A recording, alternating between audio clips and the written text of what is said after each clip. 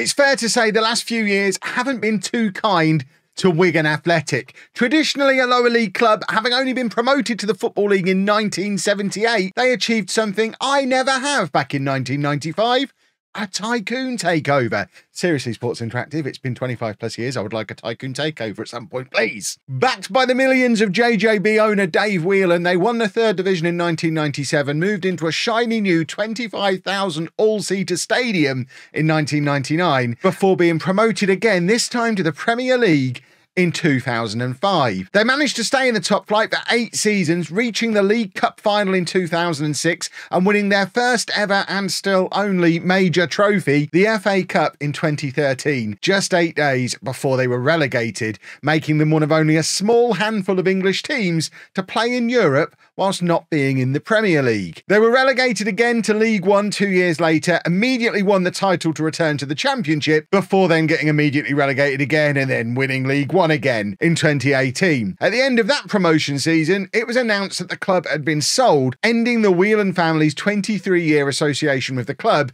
and under new ownership, Wigan survived in the Championship in 2019, finishing in 18th place. Then things got messy. The club was sold again in June 2020 but less than a month later, with them sitting in 14th place in the Championship and eight points clear of relegation in that season that was delayed because of the pandemic, they announced they'd gone into administration as the new owners had refused to invest the money that they'd promised as part of the takeover. The subsequent 12 point deduction was enough to relegate them back down to League One. They narrowly escaped another relegation the following season, ultimately finishing in 20th place in League One, just one point above the relegation places, during a season that was basically all about the multiple new takeover bids that all kept failing and the club almost went out of business before it was eventually saved by the completion of another takeover in March 2021. Under that new ownership, they once again won the League One title in 2022, earning promotion back to the Championship before announcing huge losses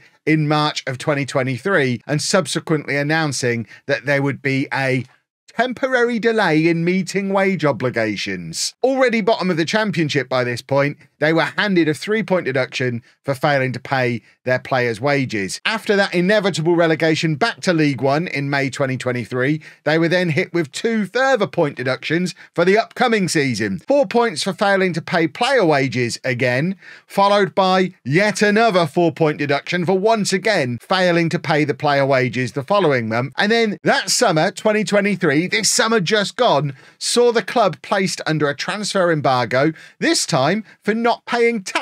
And three days later, HMRC lodged a winding up petition over that unpaid tax with a hearing date set for the end of July. This was serious stuff. If they'd have made it to that hearing without new new ownership, new investment, they would have ceased to exist. But they were once again subject to a takeover in June. I've lost count of how many takeovers this is, this is at this point. It's madness. This one was in June, a month before that scheduled hearing by Wigan-born billionaire Mike Danson, who proceeded to pay the unpaid tax and wages, saving the club for the second time in two years. And with that, the transfer embargo ended shortly after, and they were set to start the new league season with that eight point deduction. We're now about halfway through that season, and they're down in 19th place, four points outside of the relegation zone. But under new ownership, again, if any club ever needed a rebuild, it's this one, but it is a big job. So I'm giving myself 10 seasons rather than the usual five. That's 10 seasons to get Wigan back into the Premier League as an established top flight club without financially ruining them along the way. And here we are then, folks. Easy peasy, right? Starting the season with that points deduction. Um, one of two teams in League One with a points deduction. Actually, we've got eight points, and Reading have a four point deduction. The media, um, if we can click on them, think we're going to finish 19th. So we should avoid relegation this year. I mean, ideally, we'd be, if we're going to be back in the Premier League, established in the Premier League in 10 years, we obviously want to be getting promoted sooner rather than later. But that is easier said than done when there is very little money knocking around. Obviously, in real life, the club had that transfer embargo, and there is very little money involved in uh, being able to do anything pre season.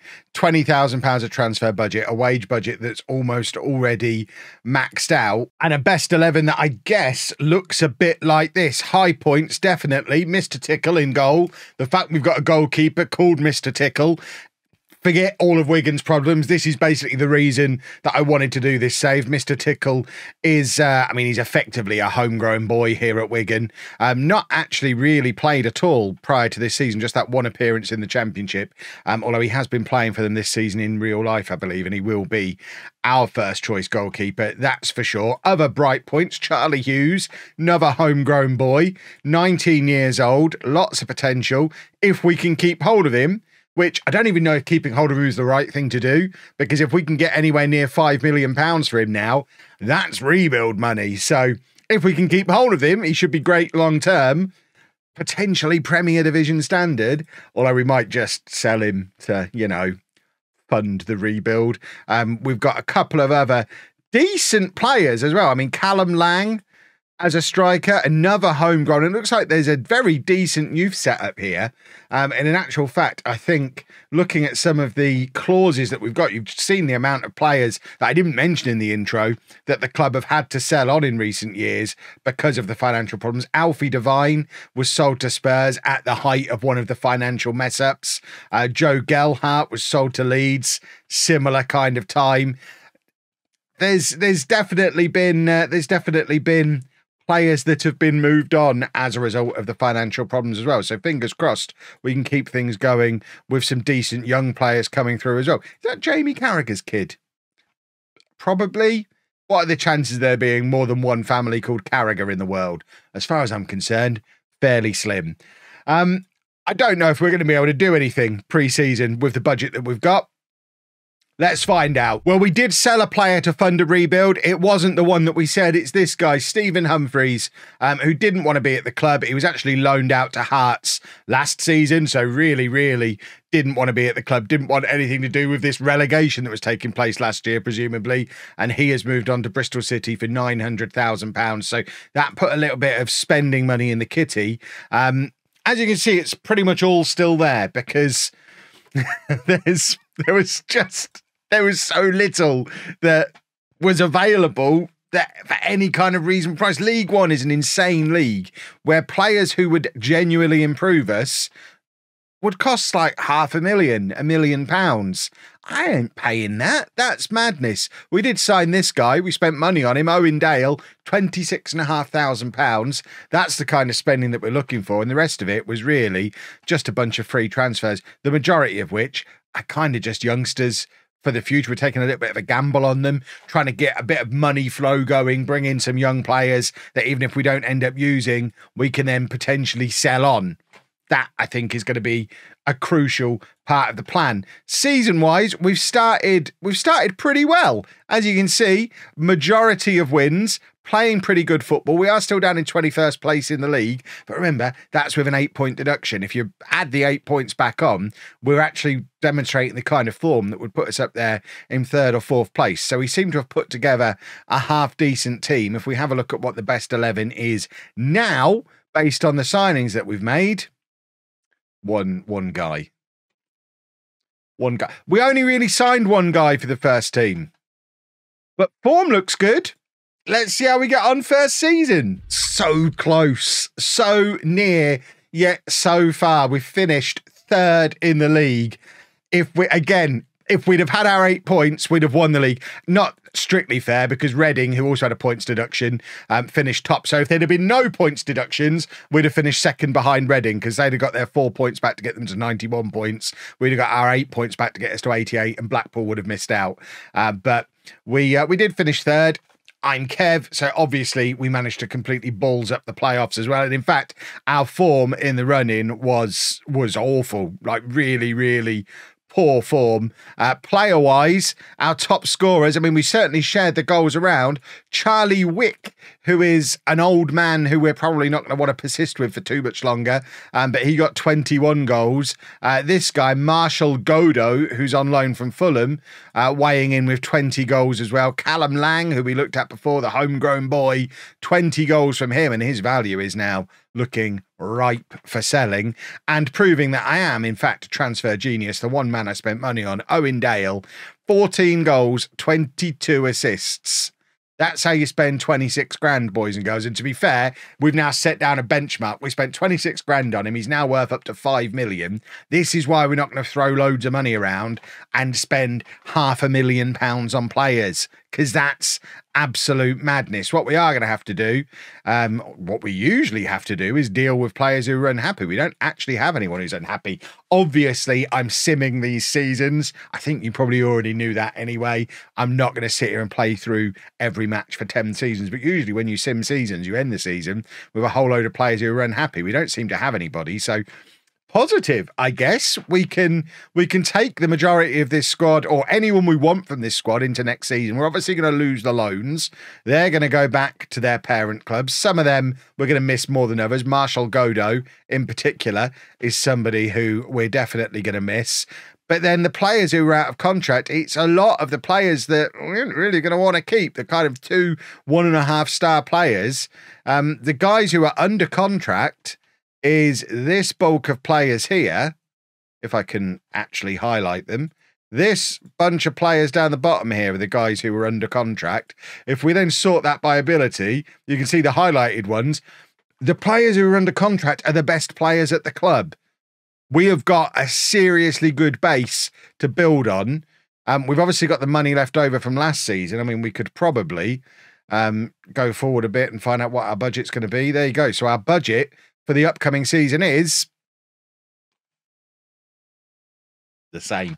This is why, boys and girls, you always spend the money. Because if you don't spend your money, that's all you get for your budget the next season. But, you know, 800 grand is something to work with. We've got some saleable assets as well. Charlie Hughes, who we looked at before, we didn't sell him last summer. He's now worth twice as much this summer with some very big clubs sniffing. If we were to get 10 million pounds for him, that again, just like 5 million last year would have been, 10 million this year, very much is rebuild money. But I kind of like the idea of keeping him around. I mean, I like the fact it's our homegrown boys who are the most valuable players at the club. Let's have a, let's have a play around. Let's do some transfers. So we did a little bit in the way of transfers um, just before the season ticked over. The most notable of which was this guy Sean Fusia, Fusire, Fusia, not really sure. He's a right back, a young right back with potential. We spent 165 grand to bring him in from Sheffield Wednesday. He's only got two stars of current ability. That's what 165 grand gets you. Transfers are really difficult in League One. Um, but we did do a few more. Alex Mitchell has joined for 300,000. He's a centre back who comes in from Millwall, had a loan with Lincoln in this league last year. So um, fingers crossed, we'll, uh, we'll be up to speed relatively quickly. He's six foot three. I like a big boy at the back. Um, and we also signed Mallik Wilks for £165,000 from Sheffield Wednesday. He's been up at championship level, not really playing for the last few years, but does have a lot of previous as a really good League One player. That loan with Doncaster really, really good. That season with Hull in League One, really, really good. He's one of those players who's really good for League One, probably not quite championship level. Um, but to get him in definitely works for me. And those transfers were funded uh, with the sale of Steven Sessegnon. Um, he didn't want to renew his contract, so it was either let him go um, now or let him go for free in the summer. So we've got 1.1 million pounds for him, um, which obviously allowed us to then do this. We've also picked up some pretty decent free transfers as well. Ibrahima Kebe, in particular, looks like he could be a good one. Three and a half stars of current ability, four stars of potential did play five games in La Liga last year, which is very, very fancy. Christian Capone as well, a 25 year old Italian winger who last year, three games in Serie A. Um, some nice little free transfers. Slobodan Tedic, a Man City youngster who was out on loan at Charlton in League One last year um, and has started this season great for us as our new striker. Four goals from his first five appearances and averaging a 7.93. Um, and also youngster Owen Beck on loan from Liverpool always a useful player at this level in football manager. So lots of jolly nice signings, a very, very nice start to the season as well. We've won all of our league games. We have been knocked out of the Carabao Cup, but who cares about that?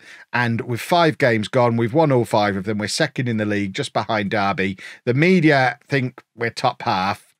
I I mean, we're, we're getting promoted, aren't we? Obviously, we're getting promoted. Uh, money wise, there is loads of money left in the bank um, because of the sales that we've made. I mean, we haven't sold three million pounds of a player. What we have done is got rid of a lot of wages off the wage budget. So I guess that's that's where this extra extra money. It's madness, isn't it? Uh, Wigan, absolute madness. But you know, we're keeping the debts under control in so much as there aren't any. I could go and spend that three million. That would be bananas based on the last few years of Wigan Athletic. Um, if we have a look at what our best 11 is now, I would say that's definitely an upgrade on where we were previously. Mr. Tickle still in goal. What a hero. Love him. Love him so much. And of course, as predicted, we did win the league. 92 points, enough to win us the league title. Um, if we have a look at, in fact, should I show you the league table? There you go. There's the league. At derby fell off, didn't they? They were they were five from five with us at the uh, at the start of the season. They fell off massively, but we have won the league 92 points. Sean Clare, our right back, or one of our right backs, was the best player in the division, 7.34 average rating for him. He's also got 14 assists from right back, which is really rather impressive. Um, we didn't have anyone in the Dream 11, which is interesting for us to win the league without anybody in the Dream 11. There's Miles Leaburn. That's a familiar name for anyone who's been watching non league to legend. If we look at who our best players were, um, Thelo Aasgaard, um, who is another one who's come through our youth system. This youth setup at Wigan is incredible. I hope we start to benefit. We're doing the 10 year save here. We should start to benefit from some of these young players coming through, not just the ones who were already here. But he's played over 150 games for us now, 15 goals for us this season. A real breakout year for him. Callum Lang, again, scoring goals for us, 17 goals from him. Um, Tedic, who we talked about before, ended the season with 18 goals. New boy Capone, 13 goals. Owen Dale, still demonstrating that I'm a transfer genius. 23 goal contributions from him this year. We've already talked about Clare getting loads of assists. And if we look at who the best players were rating wise, it's the same guys again. This is all good stuff. Um, we did fail FFP. I don't want to talk about it. I mean, we barely fa- we failed FFP by 2.8k, and we literally just failed it um, because of promotion boosts. It's fine. We are currently under transfer embargo. I think, I think, getting promoted, the embargo will be removed because I think once we're in the championship, we then have to follow the championship FFP rules, which we haven't broken. We've only broken the League One FFP rules. And I don't think this is a, a timed transfer embargo. It's a transfer embargo until we're back inside FFP regulations. So as soon as we're officially promoted, we're not failing FFP anymore. So we haven't lost 15 million pounds, I don't think. certainly haven't since I've been in charge. So we should be fine for doing transfers this summer. I've got loads of money to spend. I'd like to spend it. To the championship. Well, we ended up not spending as much of it as I would have liked. My theory was correct. The transfer embargo, as soon as we moved up a league, was removed, but we've ended up with a net transfer profit on a season where we've made it back to the championship. Like I say, I am not only putting Wigan back in the Premier League in this save, I am doing it without causing us any financial problems. That's the plan. So we sold two of our big players from the last couple of years. Matthew Smith, who's been a bit of a star for us in central midfield, has gone to Levante for 1.2 million pounds. Both of these were very close to deadline day as well. Owen Dale. I mean, it wasn't quite the five million pounds we maybe could have got for him, but I think that's still a very good piece of business. Sign for 35 grand. Um, he got well into double figures for both goals and assists both seasons, averaged over a seven for us. Hadn't necessarily made the step up to the championship to get a million pounds for him is good financial business. We didn't actually spend big on anybody. Most of our, or all of the fees that we paid were fee paying loans um, to get some fancy young Premier League players in. But what we have done is signed some real talent on free transfers. Alex Robertson, probably the standout signing of the summer. He's a 22 year old Australian international three and a half stars of current ability, four star potential. He was at Manchester City. He'd been out on loan at Portsmouth and then West Brom last season. We've had to pay him a lot. We are he's probably, I think, the highest paid player now at the club. Um, but I would suggest, just purely based on quality, worth every penny. He's not even the highest paid player. Bashir Humphreys, who's on loan for the season from Chelsea, we paid quarter of a million pounds to take this guy on loan. He's actually the highest paid player at the club. Uh, Jason Kerr, who's been with us all along, is right up there as well. And then it is Alex Robertson and one of our new defenders, David Zima, um, a four-star current ability centre back who we brought in from Torino. He played 32 games for Torino in Serie A last season and is now playing for us in the Championship. That seems to me to be quite the upgrade. If we have a look at who our best players are, it's good to see that our own youngsters are still right up there as well. Charlie Hughes continues to get better and better. We've not sold him yet. The fact we've not sold him now means I kind of want to keep him forever. If he's genuinely going to become a, uh, it doesn't mention it anymore, but a Premier League quality player, I want him to be with me in the Premier League. He's played 100 games for us already. Uh, 21 years old. That's a future Premier League captain right there, surely. And we've also got uh, Mr. Tickle, still very much our first choice goalkeeper. He's now worth 10 million pounds as well and has just made the step up and looks awesome. The one who I worry a little about, Callum Lang, he's now 26, so he's not as young as the other two. He did come through the youth system. And to be fair, he started the season quite well.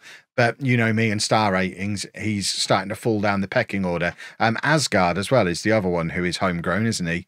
Uh, but he again, his star rating starting to fall off a little bit.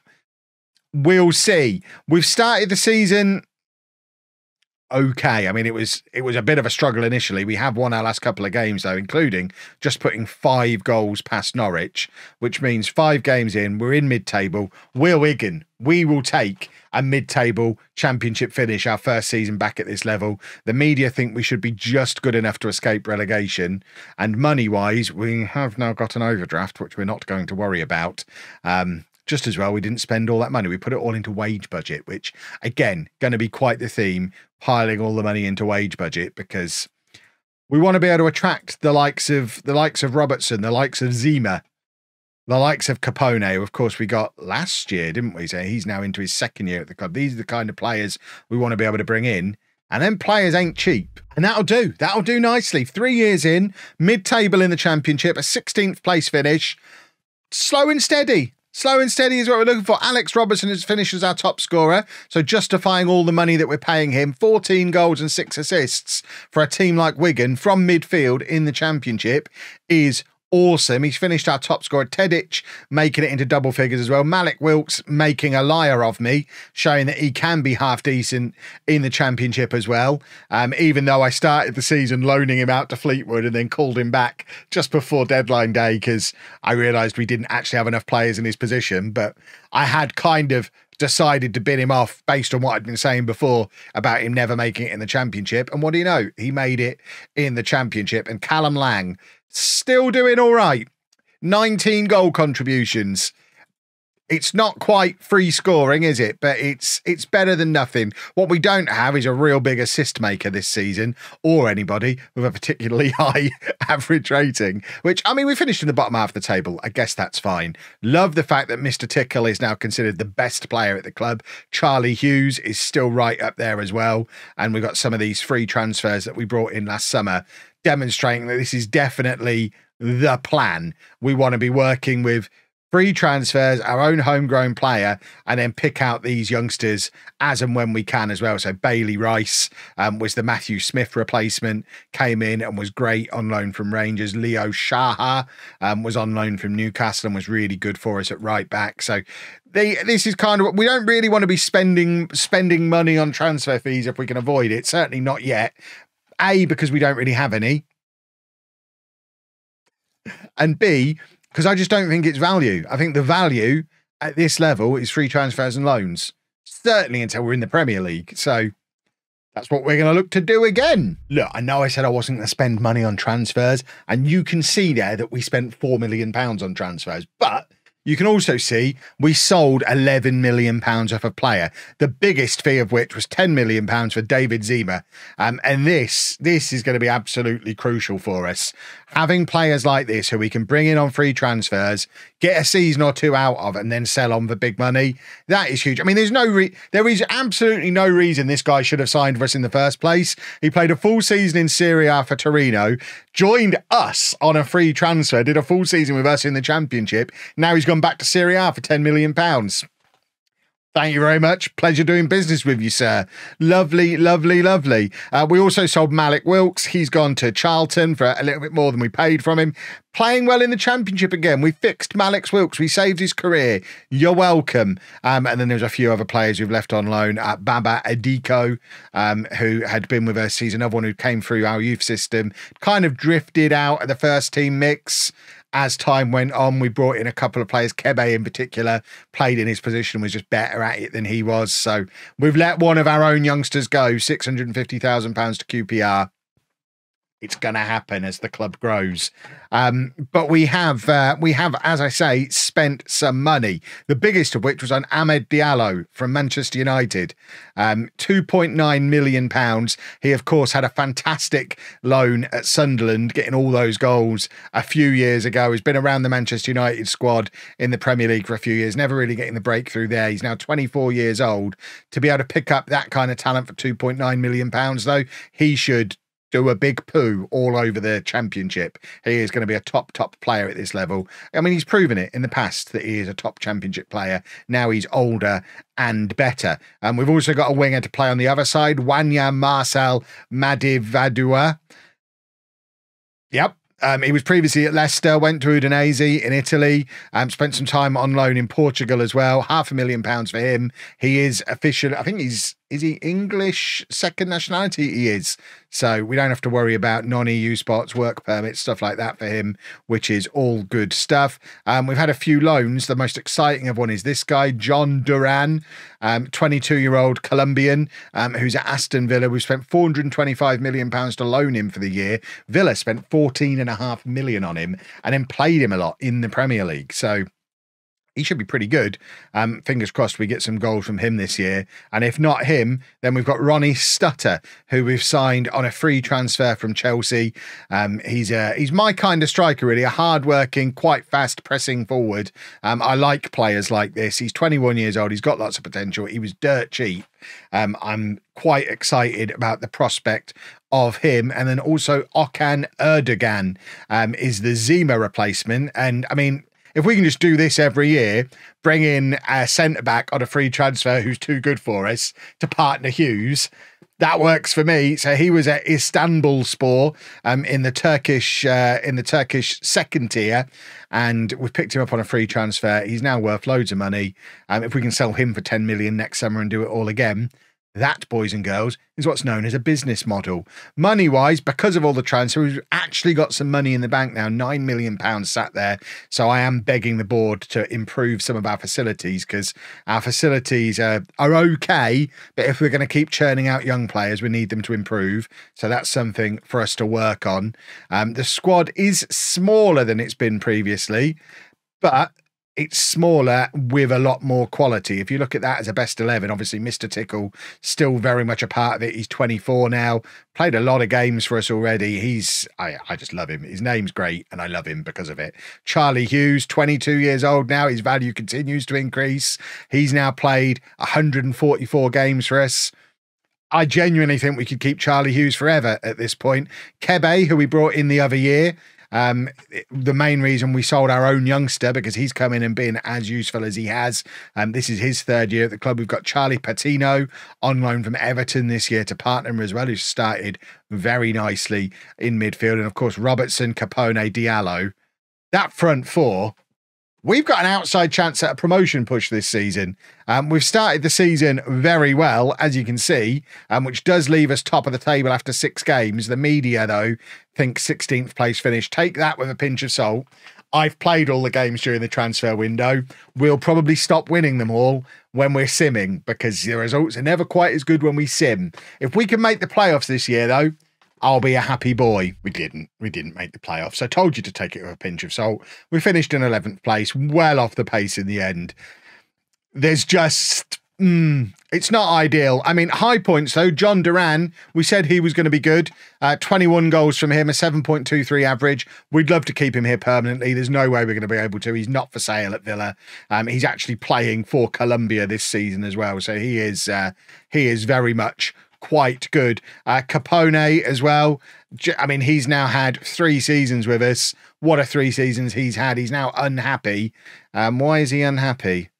He is unhappy because he wants me to sign a new goalkeeper. You lay off Mr. Tickle. If if I have to choose between you and Mr. Tickle, Christian Capone, you will be packing your bags. I don't care how good you've been after joining us on a free transfer. And Amad Diallo, that is that three million pounds worth of performance? Maybe not, but Mm, it's fine. I guess someone wants Robertson as well, um, which wouldn't be ideal. He's been a key player for us for the last couple of years. And if we have a look at who our best boys are, love the fact that Charlie Hughes is still right up there, as is Mr. Tickle. Capone needs to needs to reel it in. Let's go do some more transfers. Right, we actually got got started on selling some players early this summer.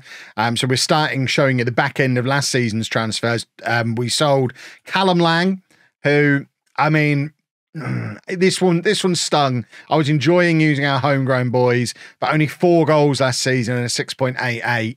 To me, it's pretty clear he's not quite championship level, and Rotherham offering two and a half million pounds for a now 28 year old Callum Lang. It was a tough one, but we've let him go, and to be fair, based on that scouting, it was probably the right decision. And we've also lost Felix Agu as well, who could play fullback for us on either side. He was officially a right back, played for us more at left back, um, but he had two years with us. Another one, we brought in on a free transfer. He's done two years. Uh, we've sold him on to Swansea, 2.8 million. He didn't want to renew his contract. So we make money on him. That's £5 million in the kitty before things even kick off. Um, we then did add to it with a few more sales as well. Sean Clare, who was so good for us in that League One promotion season, and to be fair, was very good last season as well. 22 goal contributions from right back and a 7.04 in the championship is decent stuff. But at 30 years old, you know me, 30. I mean, we ain't got room for pension passenger pensioners, so he's gone off to play in Serie A for three quarters of a million pounds. And we've also sold Jason Kerr. Similar kind of idea, really. He's now 30 years old. He's been with us all the way through. He's been great as well. Um, he's done what six years he did two years before i arrived six years no complaints at all about his quality but a million pounds for a 30 year old we're not a big enough club to turn down those kind of deals just yet so we're not turning down those kind of deals. We've gone out and done some spending. The biggest signing of the summer was Chem Campbell, who's a 24 year old Welsh attacking midfielder, can play anywhere across the attacking midfield. He joins us from Wolves, um, where he came through their youth system. Never really got a chance to play for them, but has had loans out at various League One and Championship clubs. I just like the versatility of him being able to play anywhere across the attacking midfield. Um, we also spent some money on Harry Clarke, who's a 26 year old right back, can also play centre back. He joins us from Norwich, who spent a million pounds on him from Luton, who spent four million pounds on him from Ipswich. So it, there's been some transfer fees for Harry Clarke in his relatively young career. But once again, the main events of the summer really are in our free transfers and our loans. Um, if we pick out some of the some of the stars we've been able to bring in, Hannibal joins us from Manchester United um, on a free transfer. He's out on loan at Reims in League One last year, um, but I mean, that's that's a player who's been in and around the Manchester United first team squad forever. Now 24 years old, can play centre mid, attacking mid, either wing. Just again, versatility and a player who you would think would be too good for us. Um, Agustin Alvarez as well, another free transfer signing, Uruguayan international. Um, he's been playing in Serie A for Sassuolo for the last five years. Not quite a regular starter, but just getting in a squad in Serie A means you're probably good enough for us. And then we've picked up some youngsters as well. Youssef Chermiti from Everton had a had a loan at Peterborough last year. Um, we've also got Charlie Webster, who joins us from Chelsea. I mean, we're just taking gambles on some of these youngsters. Thomas Galvez, already 26 Finland caps, a Manchester City youngster. So lots of decent quality young players. And we also got a player on loan from Bayern Munich, Daniele Scantamburlo, an Italian centre back, five under 21 caps for Italy. He's under contract to Bayern Munich. That feels like a player that is too good to play for us but he comes in and joins us on loan for the season, meaning that this is now our best 11. Young Ronnie Stutter as officially our best striker after two two goals last year. That's our best striker. Two goals last year. It's definitely a weakness in the squad. It's fine because look at what we. He's just there to run about round a bit because that three he's got behind him, Hannibal Robertson Diallo, absolutely ruin this division. Stutter's just there to run around. And we've also got Daniel Gore on loan from Manchester United as well. Another, we're developing a lot of Manchester United youngsters here, apparently. He'll partner Kebe. And then at the back, it's a solid defence. Mr. Tickle still in goal. The one downside of that as a best back four is that Hughes isn't a part of it. He's 23 now maybe progress starting to slow down a little bit. Just the three stars of current ability now. Still got time to continue getting better. And Carter Pinnington on loan from Liverpool. Or the guy on loan from Bayern Munich. I mean, he's just got to push either of them out of the team. There's a lot of loans in that defence. So fingers crossed Hughes can force his way back in as the season goes on. Once again, we've started the season strong. We're top of the table before we start simming, having won all of our games in the league, apart from that first one against Blackburn, but it was in July. Games in July don't count. It's basically a friendly. Uh, the media think we are mid table again. I suspect they might not be far wrong. We'll see, I guess. Is that one of our boys? We have finally got somebody in the Dream 11. Amad Diallo is in the Dream 11. Worth noting as well that Everton are in the Championship, having been relegated from the Premier League and are expected to finish mid table. They did get a 12 point deduction for going into administration. So Everton not having the best times of it. And uh, I guess that's why we were able to pick up one of their good young players on a free transfer. But let's sim the season and fingers crossed we can hold on to this form a little bit longer this time and have a proper push at those playoffs. Oh, and we really, we really did push, but ended up finishing just outside them, a seventh place finish. We finished level on points with Hull, who did make it into the playoffs. We were so close to getting into the playoffs, but not quite close enough. Really encouraging to see Ronnie Stutter as our top scorer. See, I knew he'd be good. I never I never doubted him for a second after he only got two goals last year. 18 goals from him. Lovely, lovely, lovely. Who else are our standout boys? So Stutter, top scorer, Diallo, still proving that he's very, very good for this level. Um, doing well with his goals and assists. Decent goals from the rest of that attacking bunch of players as well. Gore providing more assists than anybody. These Manchester United youngsters well worth picking up. I wonder if we can maybe pick up Gore permanently. And if we have a look at who the best players are, uh, Diallo head and shoulders above everybody else. It will just be a case of trying to keep hold of him. There's going to come a point where we probably can't afford his contract. Same with Hannibal. There's going to become a point where these boys' contracts are going to get too expensive. That he's got two years left. Diallo just the one year left. If we can't tie him down to an extension, we might be cashing in on Diallo this summer because we'll need it to uh, to fund things. Mr. Tickle still very much in the mix as a top Wigan player. I love that. Um, and Charlie Hughes as well, one of the better players at the club. Still managed 31 games last season despite competition. Now over 200 games for Wigan at only 24 years old. This is this story is as much about Mr. Tickle and Charlie Hughes as it is about me or Wigan Athletic. This is just five years in, by the way. We're at the halfway point. Have I made it into the uh, Right, I'm on the favoured personnel. Me, Callum Lang, and Christian Capone have made it into the uh, favoured personnel. That seems like a bit of a weird one. There's been better players than him. Callum Lang, I think, probably deserves it. He was homegrown at club, did very well. Had a decent season for Rotherham last year as well. But obviously, we want to be pushing on into. I want to get myself in the icons list, the legends list. Is Tommy Gore related to the Gore we've got? Daniel Gore. Are they related? Let me know down in the comments section.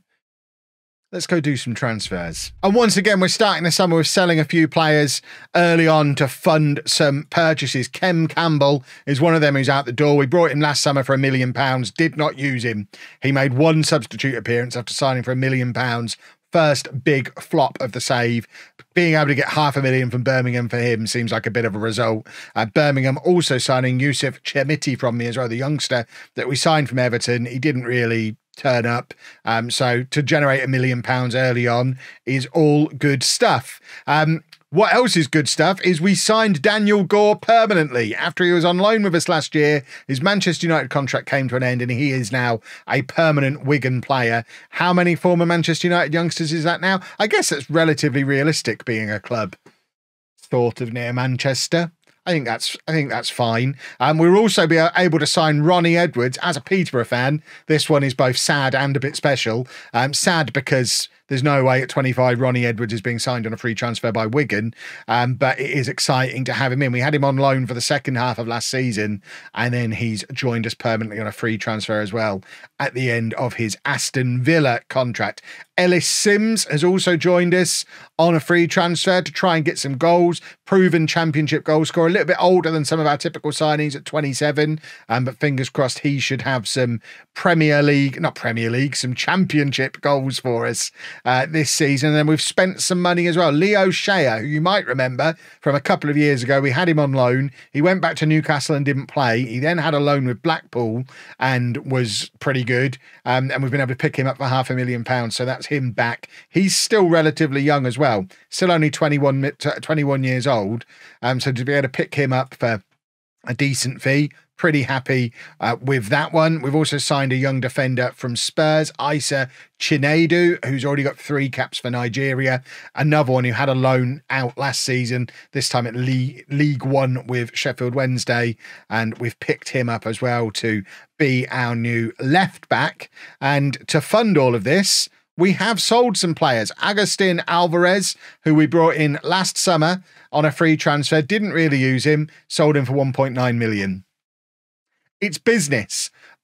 Free transfers are the way to go. Um, we also finally had to give up on Thelo Aasgaard.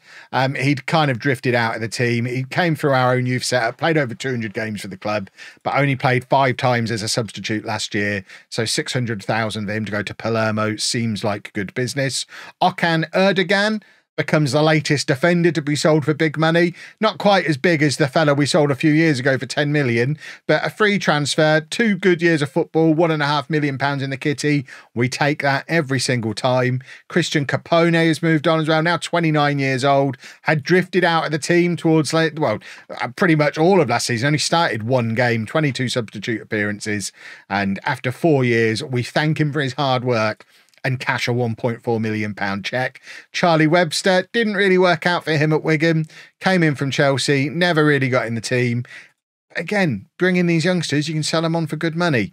It's just sensible business. And once again, we end with a transfer profit. If we actually look, what we six seasons in? I've now spent 6.75 million pounds and brought in 33 million pounds in transfers. That works for me. Our bank balance is still negative after all that. I'm doing my bit. I'm trying. The club are taking out loans all over the place. Although, to be fair, some of this is on improving the facilities around the club, I think. Have we? Yeah, we've improved one of these. We certainly spent some money somewhere at some point. um, but we get once again, there's loads of money left. We could have spent more this summer. I just don't think we need to. Um, if we look at what our best 11 is, I don't. I mean, we could go and drop five million pounds on somebody to improve it somewhere somehow. I don't know who necessarily does that. That looks like a very good team for this level. Once again, we've started the season really strong.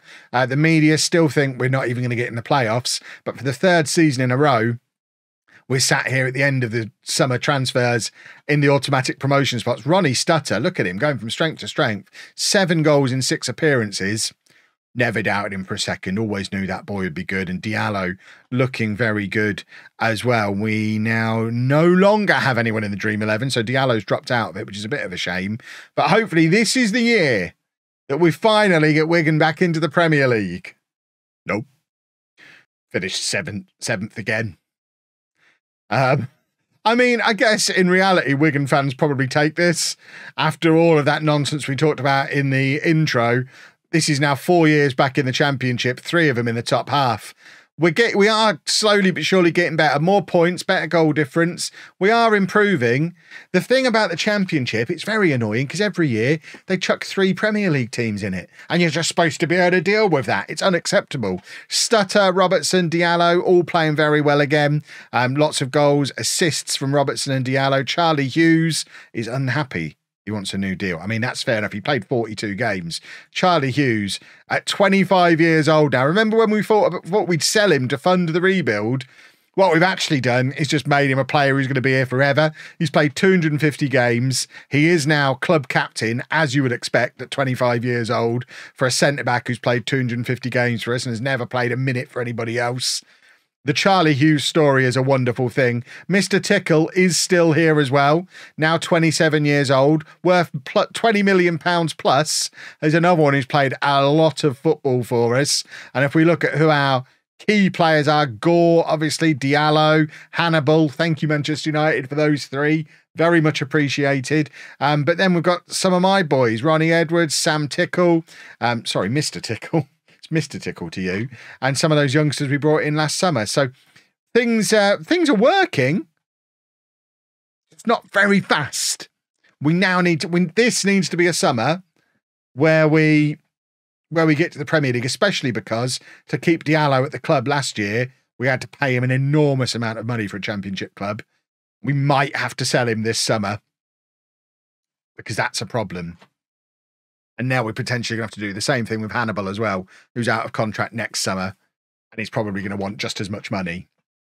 The wages are starting to turn into Premier League wages. We need to get in the Premier League because the last thing we want to do is put Wigan into financial problems. And almost immediately, we sold Diallo. He had a non promotion release clause at £20 million, 500,000, 20 and a half million pounds. No normal person says that. It was a non promotion release clause. Al Arabi paid it so he's gone there for 20.5 million pounds on 100 grand a week. So of course that does fund shenanigans and shenanigans are absolutely what has gone on because as well as selling Diallo for 20 million pounds we've sold Ellis Sims for 4.9 million. We brought him in. He only started 5 games last year. He did score 6 goals but to sell him for 4.9 million absolute madness. Casey Wooster who's a youngster that we signed on a free transfer from Newcastle never really used sold him for a million pounds. Uh, Kevin Alvarez, who is a youngster we signed on a free transfer last summer, sold him for three and a half million to Maccabi Tel Aviv.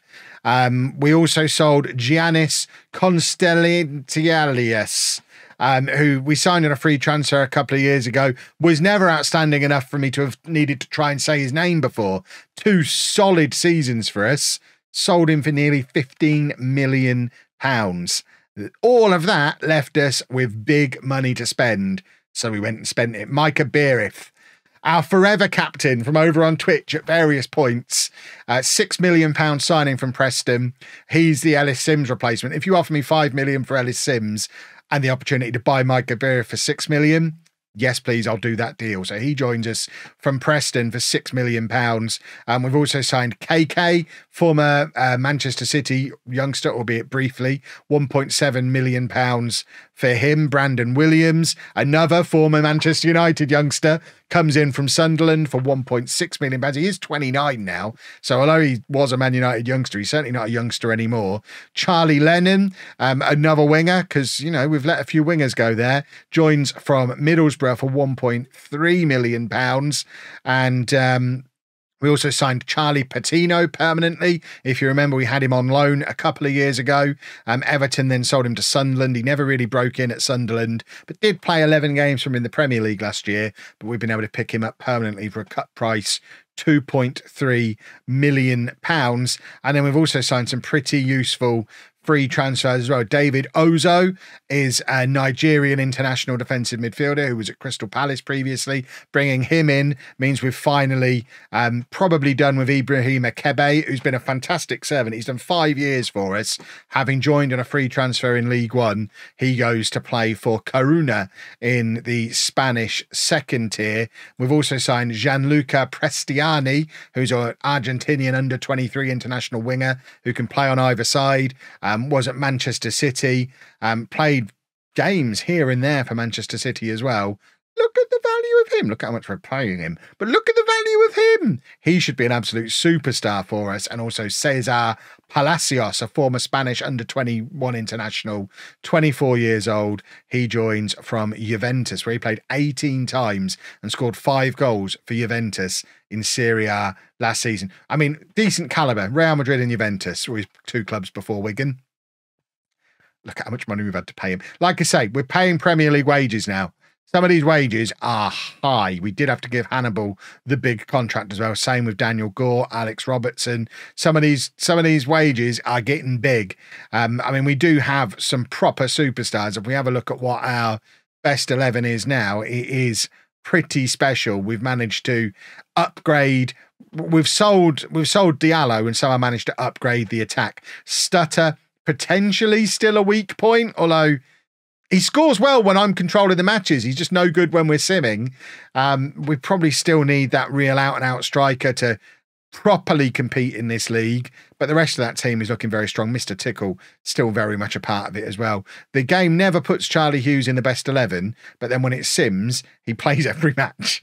And I play him in every match. I don't know why it doesn't just put him in that best 11 because he's going to he's going to play. He's obviously going to play. And we've also got Scantamburlo, Scantamburlo, the youngster who was on loan from Bayern Munich, um, is on loan with us still.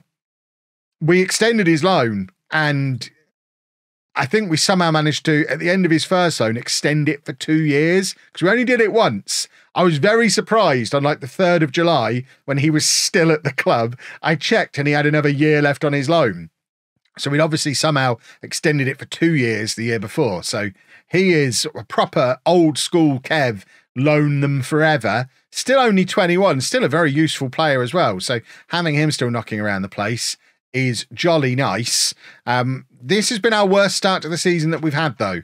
Um, six games in, we're ninth in the league. The media think we're still kind of an upper mid table team. Um, we're kind of relying on the simming this time. I've not been able to give us that big boost at the start. Come on, sim like you mean it. And finally, we have made it into the Premier League fifth place through the playoffs as well, no less. There is your confirmation that we have been promoted to the Premier League, beating Everton 3 1 in the playoff final. We've got Premier League budgets to play with as well this is going to be this is going to be a very fun summer. It probably means the end of the line for Ronnie Stutter as well, which is a little bit of a shame because he's not actually first season aside, he's never really let us down. But he's obviously not going to be a champion, a Premier League quality player. Um, but he's he's had a decent four years with us, as expected. Prestiani's been great. Robertson, Hannibal, still great.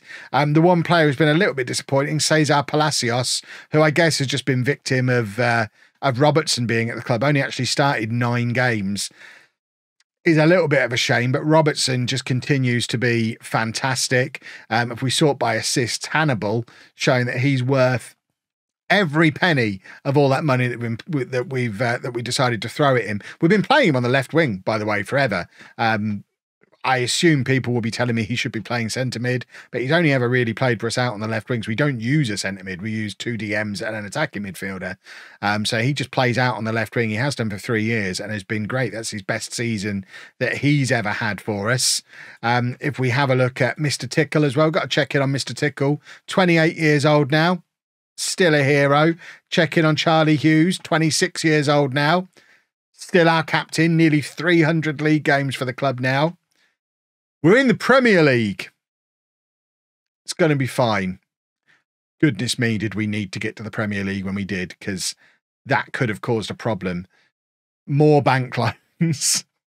they just take out loans. That's what they do. They've they've learned nothing. Um, as you can see, some of them have been for facilities. we are slowly but surely improving the facilities, but we really did need to get back in the Premier League. We've got three years left to properly establish ourselves, maybe win a trophy. Obviously, last time Wigan were in the Premier League, they did win a trophy. It'd be quite nice to add a second trophy to the trophy cabinet. There's still just that one FA Cup. So I guess that can be a target for us for these last three years of the save. Let's try and win a trophy. So, as usual, at this point, we started early with our sales. Ronnie Edwards out the door. He's gone to Millwall, £4.4 million. Um, he was with us three years in total, one on loan, two here permanently. He was never really a regular starter. We've got too much quality at centre back. So, to get £4.4 million for him seemed like a good result. Um, and then we move into our Premier League transfers. Um, the headline of which is Daniele Scantamburlo, having been here on loan forever, has now joined us permanently.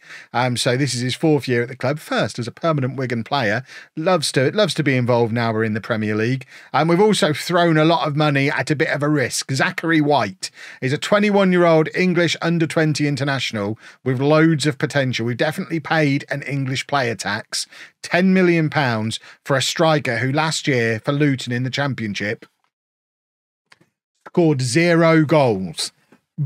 But he's better than Stutter, right? He plays that pressing forward role that we want. I think he can be a hero. I hope he can be a hero. On the topic of heroes, I think we're probably replacing Mr. Tickle as well. Carl Rushworth has joined us as a new goalkeeper for £11 million from Columbus in the MLS. Um, so he's in. We've also spent money on Rodolfo Cortillo, um, who's a Spanish under 21 international centre back, um, who look, I mean, he looks really good. Look at that. Three and a half stars, five star potential, six foot six. Definitely my kind of boy. Um, and then we brought in some good free transfers again. Um, if we look at Tiago Palacios, we've decided to go a little bit older. We're looking for quality at a higher level, like previous experience at a higher level. So this guy has been at Atletico Madrid that's why he comes in. Uh, this guy has been at Leeds for years in the Premier League. Yes, he's what 32 years old now, but he's got all those years of Premier League experience. He's only in on a one year deal. It just seemed sensible to put a little bit of experience throughout the squad. So he joins from Leeds. He also joins from Leeds. Again, five, six years of Premier League experience with Leeds. Those two boys know how to stay in the Premier League. So bringing them in on one year deals to demonstrate to the rest of us how to stay in the Premier League seems like a good idea. We've also got Bilal El Khannouss, who's another attacking midfielder, previously of Genk, and looks like he might be a bit of a superstar. Um, and Lukas Ullrich as a 26 year old German left back, previously of Mönchengladbach. So brought in some. Uh, some definitely proven top tier quality, and we've funded it. We've done a transfer profit again. Uh, we've funded it not just with Ronnie Edwards, but Cesar Palacios, who we looked at before, came in on a free transfer, never really got a look in in the team, was limited to substitute appearances. He's gone to Saudi Arabia in a 19 million pounds deal. Kayky has gone back to Brazil. Second time he's come to England, and it not really work out. But we did sell him on for a profit, which Man City didn't manage to do. They spent eight and a half million and let him go for free we made a profit on him. So, you know, who's who's the real winners here? Ibrahim Akebe has finally left the club permanently. He had that year on loan in Spain last year. He's now gone to Empoli in Serie A, and we very much thank him for an excellent however many years he was at the club. And Ronnie Stutter, we've definitely gone all in on the new boy because we got a seven million pound offer for Ronnie Stutter, who is just never going to be a Premier League quality striker. And uh, it just seemed like a bit of a no-brainer to take that deal. So really, I would like you to look at Zachary White in that he didn't cost us 11 million pounds. He cost us 4 million pounds plus stutter. And I think if you look at it like that, it definitely has the potential to be a bargain. He'll score, I promise, he's going to be a good player for us. Well, we survived in the Premier League. That's a big plus. A 16th place finish, 39 points from 38 games, so we're above the Kev ratio. Um, our top scorer was not our new striker. Which is problematic. I mean, Bilal El Khannouss, that's a lovely season from him. 12 goals, four assists from a midfield player. That'll do nicely. Also, good to see Leo Shahar, um, who we spent money on a couple of years ago, stepping up to the Premier League and playing very well. 10 assists from him, highest average rating, most assists. Good to see Charlie Hughes still knocking about the place as well. 32 starts for him in the Premier League. He's now played 322 times for the club. He's still only 27. He's still the club captain. I'm so glad we didn't sell him back at the start. What a hero he's been. Is he all time appearance holder? Um, how do we find that out? He's not because Mr. Tickle is. Mr. Tickle, who did force his way back into the team um, towards the end of the season. It, Rushworth was definitely the number one for a lot of the year, um, but Mr. Tickle did force his way back in. And I think Mr. Tickle might just be my first choice goalkeeper again. 29 years old now. I, with two years of the save to go, I don't know that I can abandon Mr. Tickle at this point. He's too much of a hero. Um, we only had one player who got into double figures for goals. Mika Biereth ended up with eight goals. How did my shiny new striker do? Where is he? What was his name? So, oh no. We spent 10 million pounds on him. He's not scored for two years. That that one might that one might be a problem. We're not going to worry about it. Um, uh, Shahar was the only one to get double figures for assists, and also the only one who actually played any number of games for us. I mean, he's had a very good season. What a star he's taken. Still only 24. What a star he is. Our best player is Shahar. Um, we've got a few others who are around about there as well, who you would expect to see.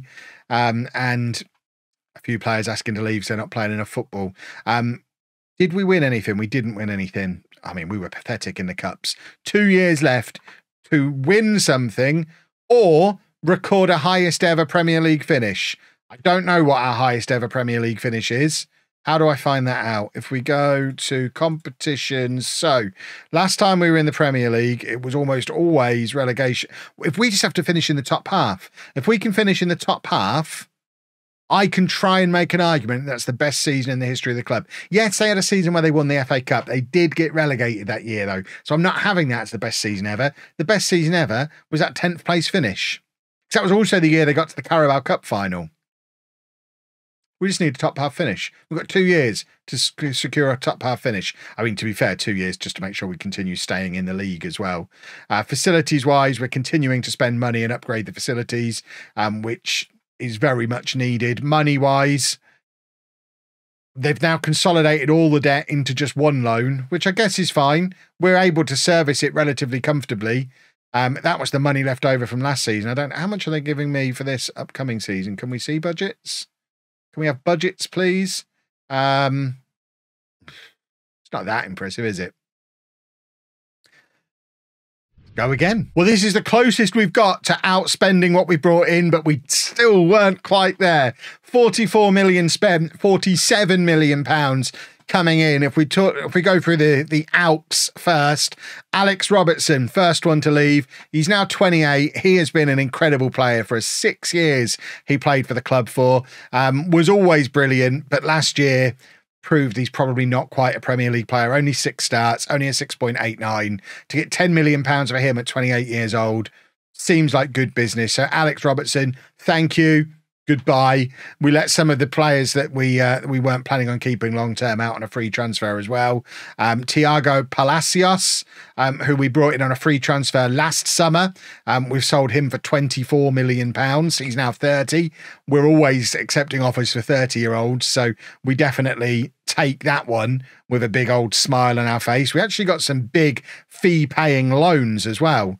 Um, if we have a look at some of these loan fees that we got, Lukas Ullrich, we've loaned out for three million pounds. This is becoming a, a new lucrative way of doing business. Cortijo, we spent 4.7 million on. We've loaned him out for two and a half million. He comes back still ours. Charlie Lennon has gone to Burnley as well for 3.4 million. So all of that adds up to 47 million pounds and this is how we've spent it. Jahkeele Marshall Rutty is a Canadian international who can play everywhere. We brought him in to play right back or right wing. He joins us for 21 million pounds from Everton. Everton did make it back to the Premier League and uh, He played 31 times for them last year, but he comes to join us. The other big money signing was Angelo Scarponi, who is a proper statement signing for us. He's a 23 year old Italian striker, former under 21 international, 23 under 21 caps, 16 goals. Has already made his Italy debut, two caps, one goal for Italy. Um, he was at Middlesbrough where he scored a lot of goals in the championship a couple of years ago 26 goals before he went off and had his big payday year in Qatar where he also scored goals. He's joined us for 22 million and has 3 goals and 1 assist in his first 3 appearances in the Premier League. He is a 4-star current ability striker he is a superstar. I am very, very happy with that signing, and then we've just filled it up with some uh, some squad players, really, who we're hoping to make money on. Gabriel Mis- Misehouy um, is someone I remember from my Ajax rebuild that I did a couple of months ago now. I remember him being quite good in that save. Um, very much brought in with a, the intention of selling. I don't expect to necessarily play him. Bruno Iglesias also plays in that same position. We've had a lot of joy in recent years of signing attacking midfielders and selling them on for big money. So he's another one who could potentially do that. Peter can play on either wing. He's 29, but he was free and he's got plenty of La Liga experience. So that seemed like a sensible signing.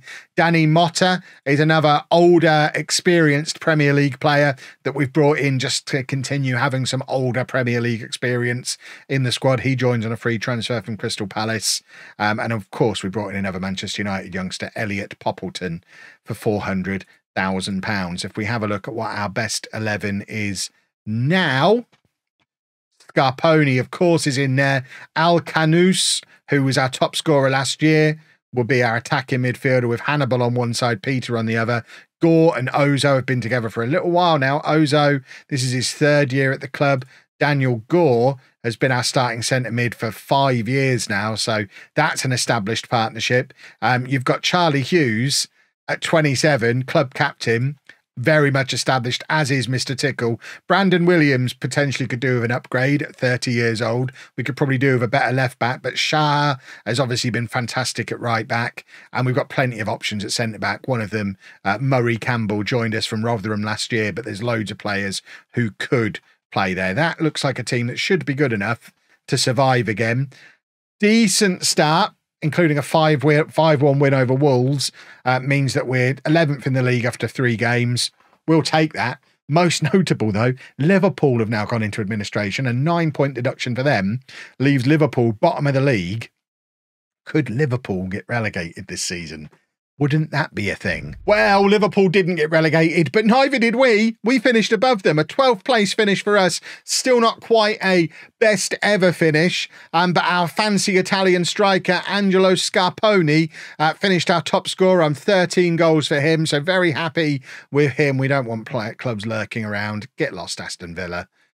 We want to keep him. Uh, Leo Shahar, by the way, fantastic again. What a bargain of a £500,000 signing he was. Um, double figures for assists in uh, in both of the last two years in the Premier League. And Charlie Hughes, once again, with his, I mean, he's just good at doing pass completion, isn't he? 353 matches now for him. It's basically a race between him and Mr. Tickle to see who's going to be the all time appearance holder at the end of the save. I think it's it is still Mr. Tickle at the moment. Um, yeah, Mr. Tickle on 362.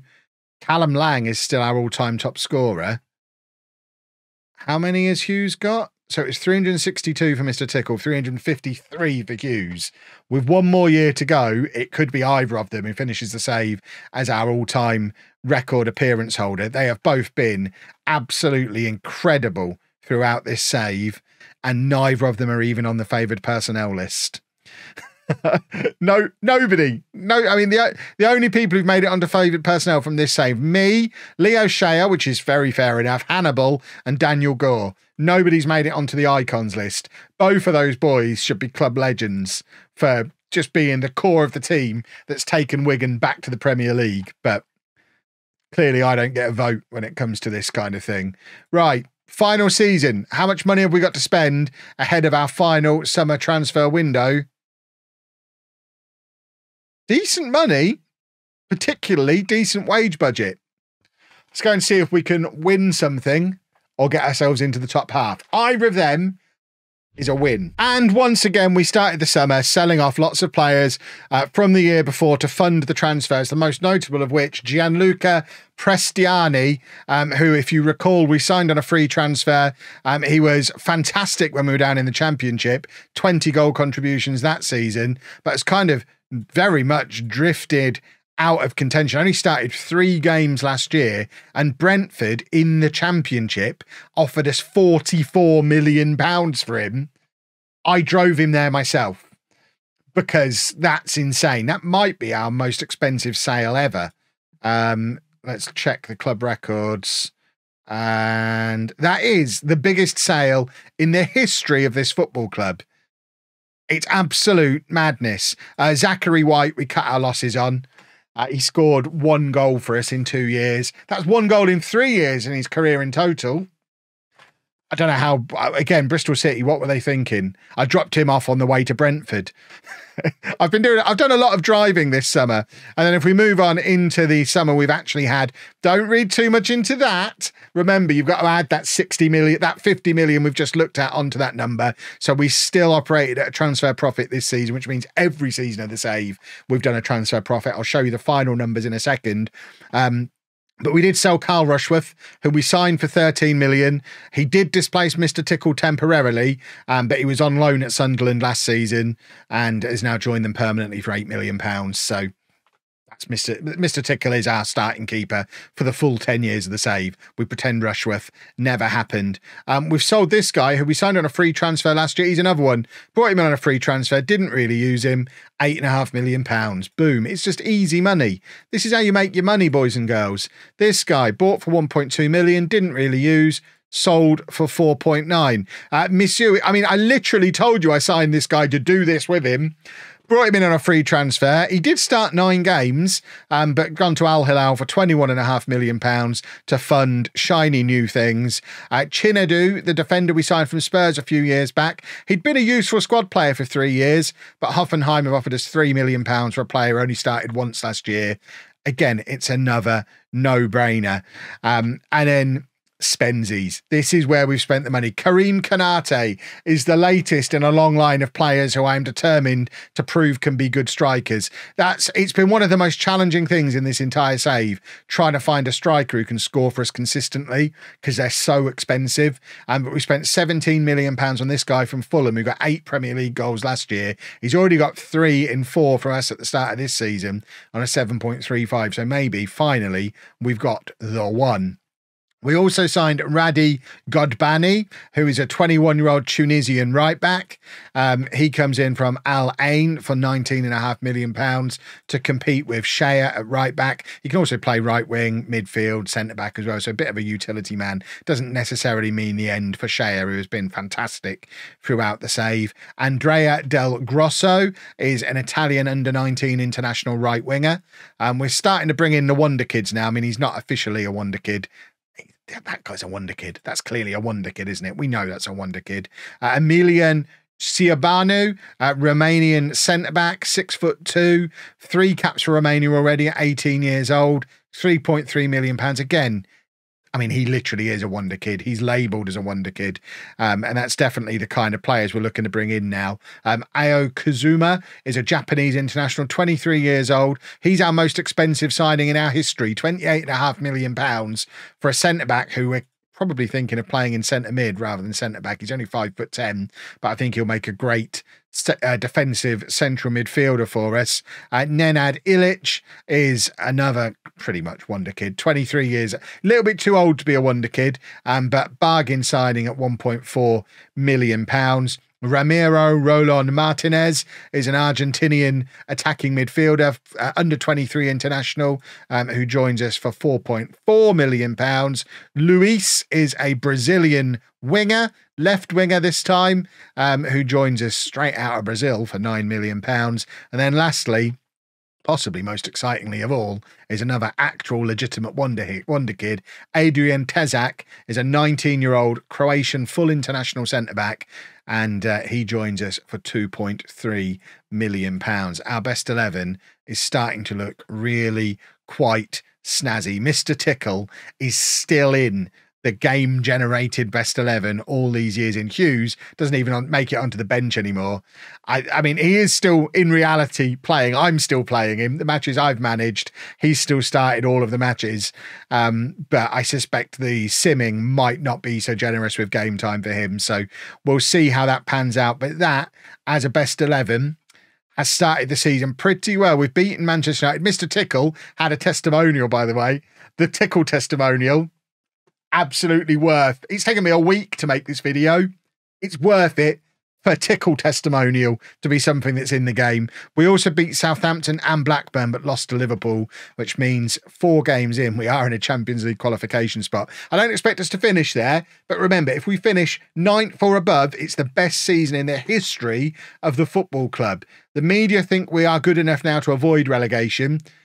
I just hope we're good enough to get that top half finish. That's what we want. That's what we're aiming for. Can we manage to do it? Of course we can. We've finished in eighth place, which will be the best ever finish for this football club. Um, in fact, there's your confirmation of it. Record high finish for Wigan.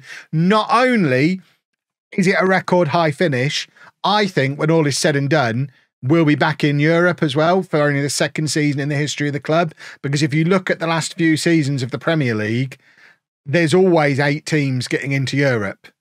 Um, apart from that year, in fact, even that year, Norwich got into the Europa League when they were relegated. Um, but there's always at least eight teams getting into Europe.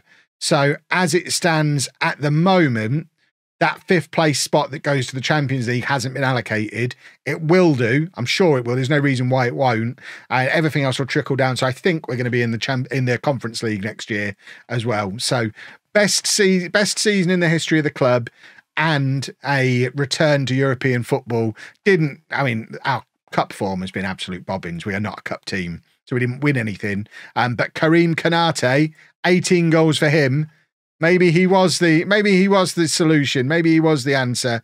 Um, Scarponi, who I thought was going to be, only three goals from him this season. I, I feel like he was probably being played out wide by the AI a lot because he started 26 games and Konate started 35. So Konate started almost every game. We play a one striker system. So I think Scarponi probably played out wide. Assists wise, they've been shared around relatively uh, relatively generously. Um, and best players who've actually played, I mean, Godbani, who spent a lot of money on couldn't push Shahar out of the team, which personally, very proud to see that. Shahar has been an absolute standout the second half of this. And uh, our best player, Scarponi, a lot of these boys who might be moving on. Daniel Gore has been a fantastic player as part of this save. Um, but of course, the real star, Mr. Tickle, who ends the save the same way he started it as our starting goalkeeper he has now played 399 league matches for Wigan Athletic. Um, Charlie Hughes, let's just check how close he got to the record. Charlie Hughes has played 385 league matches for Wigan and has been our captain for years. He's now 29. Both of those boys have been with us for all 10 seasons as starters. They've taken us from the bottom half of League One back into Europe, back into the Premier League, which is incredible work from them. Um, we did manage to get Leo Shahar onto the icons list. So the game thinks he's been the best player of the save, which I would struggle to argue with. He has been brilliant. Um, Mr. Tickle did make it onto the favoured personnel, so that's nice to see, along with me, Gore, and Hannibal. And we also made some improvements to the ground as well. The DW Stadium has been expanded. Our facilities continue to get better. And here's your proof that we did it whilst being financially sensible. We've got the Champions League FFP on there. I don't think we're going to be in the Champions League. Um, but there is a little bit of debt at the club. They love taking on these little loans. I don't really know why they keep doing it because there is money in the bank. Uh, the projection is still not ideal, but obviously we've kept the club afloat with positive transfers all these years. It's still not really self sufficient just from day to day running. Um, but in 10 years, we've spent 191 million pounds on 87 players, sold 65 players for 252 million. So nice little net transfer profit of what 60 or so million pounds in 10 years. We got Wigan there. We I think you'll find that's Wigan rebuilt, best ever Premier League finish, back in Europe, whilst being financially sensible and not ruining them. That was 10 years of hard, hard work, but we got there. Let me know down in the comments section what you think about these longer rebuilds. Certainly can't do one like this every week. Like I say, it has taken a long time to put together. But if you like this kind of video, there'll certainly be more stuff like this coming up in the future. If you did enjoy it, please make sure you leave a nice big thumbs up. Check out some of the other rebuilds, some of the other content on the channel as well. Subscribe if you're new. And thank you very much for watching.